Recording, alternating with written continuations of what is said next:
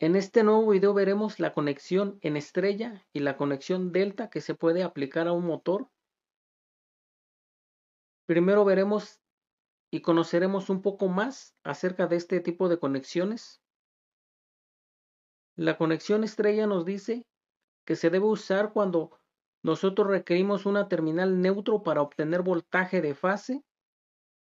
Tenemos dos diferentes voltajes disponibles, por ejemplo, puede ser 220 voltios y 380 voltios, mientras que en la conexión delta o triángulo nos dice que cuando no requerimos un terminal neutro para obtener voltaje de fase, tenemos un solo voltaje disponible, podemos utilizar la conexión delta. También la conexión estrella nos dice que en la conexión las terminales iniciales o terminales finales de las tres bobinas son conectadas juntas para formar el punto neutro. Y en la conexión delta nos dice que las terminales opuestas de las tres bobinas están conectadas juntas. La conexión estrella también nos dice que la corriente de línea es igual a la corriente de fase. Nos dice también que el voltaje de línea es igual a la raíz cuadrada de 3 multiplicada por el voltaje de fase. Y también nos dice que cada bobinado recibe 220 voltios. Mientras que en la conexión delta nos dice que la corriente de línea es igual a la raíz cuadrada de 3 multiplicada por la corriente de fase. También nos dice que el voltaje de línea es igual al voltaje de fase y que cada bobinado recibe 380 voltios. Vamos a pasar a hacer la simulación de este tipo de conexiones de estrella y delta en un motor. Vamos a proceder a hacer la simulación de estas conexiones. Y bien, como se puede observar aquí en pantalla tenemos un motor, un motor trifásico. También tenemos la caja de las conexiones de las terminales.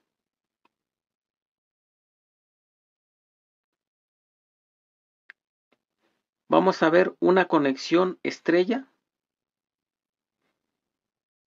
En la parte inferior tenemos las terminales U1 en la parte superior tenemos las terminales U2. En la parte inferior tenemos la siguiente terminal que es B1. Y en la parte superior tenemos la terminal B2. Y en la parte inferior tenemos una tercera terminal que es W1 y en la parte superior tenemos la tercer terminal que es W2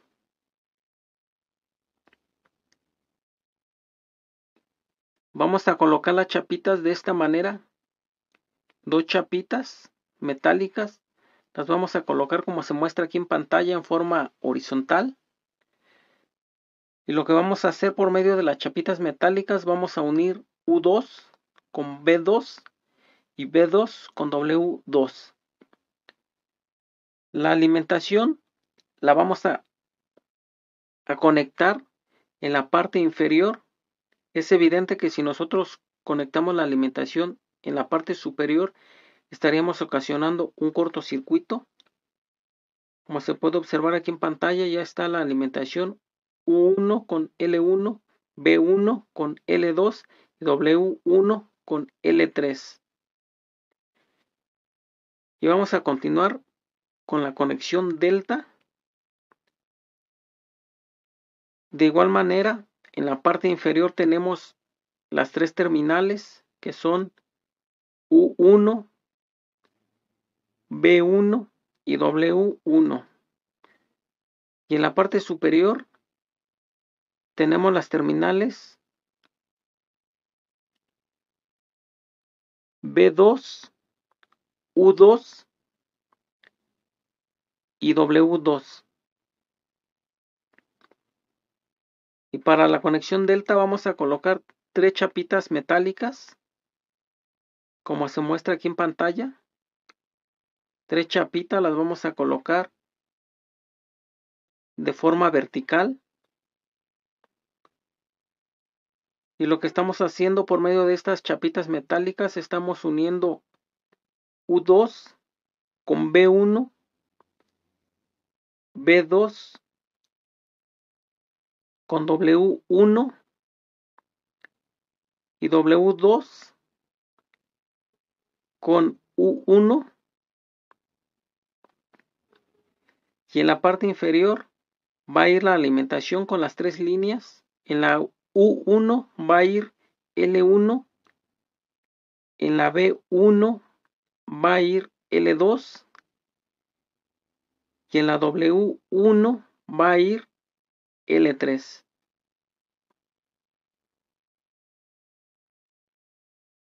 Y como se puede observar, ya está la conexión delta, ya están colocadas las chapitas metálicas, ya están las conexiones.